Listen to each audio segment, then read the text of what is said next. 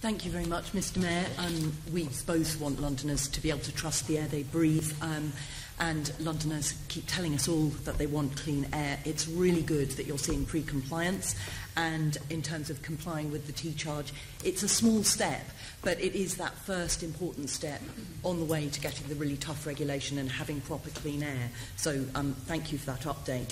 Um, I want to um, raise an issue. Um, I had a group of children come and visit me here at City Hall a couple of weeks ago from Bessemer Grange Primary School in Herne Hill. They're actually watching on the live stream right now. And Shiloh, Imogen, Oliver, and Mark asked me to ask you to help them to cut pollution on their journey to school.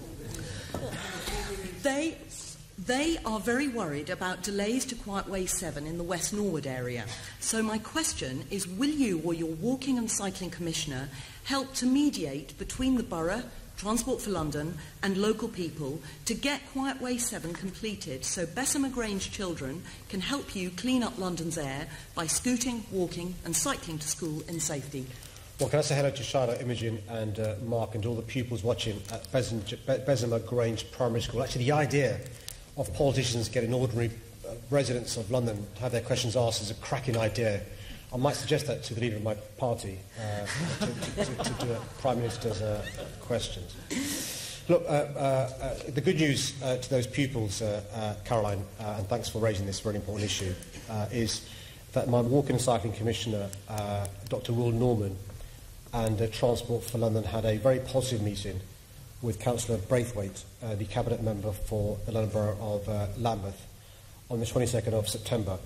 And following that meeting, Councillor Brathwaite has confirmed support for design proposals on Quiet Way 7 in the West Norwood area. These will soon be published on the Lambeth website for public comment.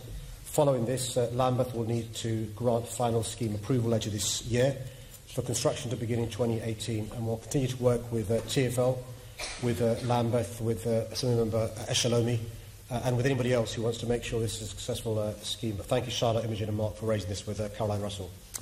Thank you very much, Mr Mayor. I'm sure the children will be really, really excited about this. Um, uh, the... uh, and when you can vote, when you're old enough, please vote for me. yeah. or the person who raised their question, Mr Mayor. Um, Uh, finally, um, you recently announced 50 air quality audits for primary schools in pollution hotspots. These audits are incredibly welcome, but there's another 350 schools on the list of the worst polluted places in London. Will you provide additional funding for these remaining schools to have audits in the next financial year? So, good question. So, we started with the 50 uh, to, to, to pilot them and see how successful they were going to be. We can't do it by ourselves. There's got to be local boroughs working with the schools, working with the parents and the local community. Um, and so they're doing that. If it's successful, we'll try and encourage other boroughs to uh, use them with their schools as well. But just to be clear, we can't impose on schools and councils what to do here.